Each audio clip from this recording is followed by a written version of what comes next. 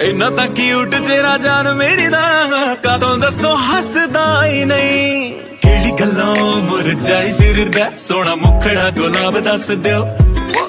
ਕੋਹਾਂ ਦੂਰ ਜਾ ਕੇ ਸੱਟ ਦਿੰਨੇ ਅੱਜ ਕਿਹੜੀ ਆਦਤ ਖਰਾਬ ਦੱਸ ਦਿਓ। ਛੱਡ ਮੰਗ ਲੈਣੇ ਅੱਜ ਮਾਫੀਆਂ, ਸਾਡੀ ਗਲਤੀ ਜਨਾਬ ਦੱਸ ਦਿਓ। ਮੁਖੜੇ ਬਣਾਈ ਸੋਹਣੇ ਮੁਖੜੇ, ਕਦੋਂ ਹੋਏ ਨੇ ਨਾਰਾਜ਼